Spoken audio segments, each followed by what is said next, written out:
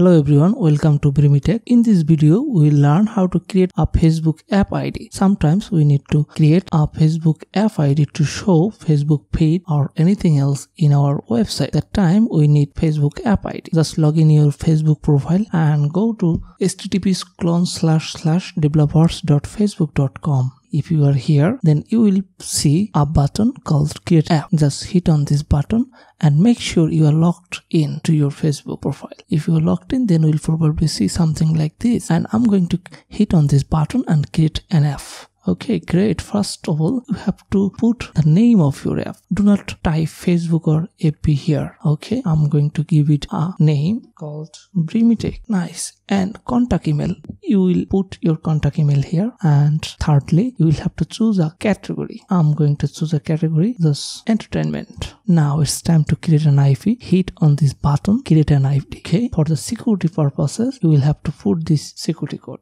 I'm going to type here. I submitted that security code. Now it's time to get the app my app has been created and redirected me to this page that's great. Now it's time to go to the setting panel of the app. I'm going to the settings section here. As you can see just click on this menu and here you will see your app id here is the app id i have created and here is this and i have some works to do. So first of all i'm going to choose the platform. From here you will choose your platform. I'm going to use it for website. Just click on this website icon. And i am asked to put my website url my website url is www. now it's time to save changes from this button saved that's great and now i'm going to review the app from here. App review link. Just click on this app review. At this moment your app is in development and unavailable to the public. So if you want to make it public you will have to click on here. And facebook will ask you to confirm it. I'm going to confirm it that's great now my app is live and available to public. It's time to go to the dashboard and see what is there. That's great my app Brimitech. Is live now. And